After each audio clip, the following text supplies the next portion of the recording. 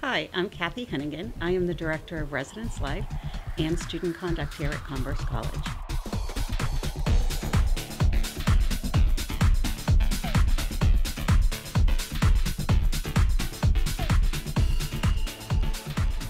A lot of people come here to Converse that are only children. They've never shared a bedroom, never mind a bathroom, um, or they've never met somebody, an international student, or they uh, really haven't traveled outside of the state.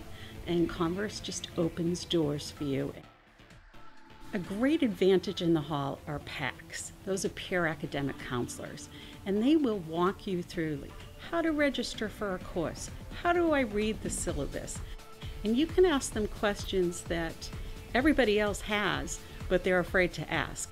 Every single floor has a community advisor, and as the title uh, in their position says, they build community. They instill the respect on the hall, they establish the rules on the hall, um, but more importantly, they create friendship and opportunities for you to meet other people.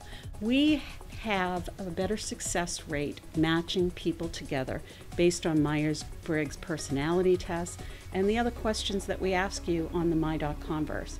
That website answers a lot of questions. May 1st is the deadline for deposits. I invite you to go onto My.Converse and you can pay your deposit online. You'll be able to find out what life is going to be like on campus. You're here for a short while. Make the most of it. And it starts with your deposit.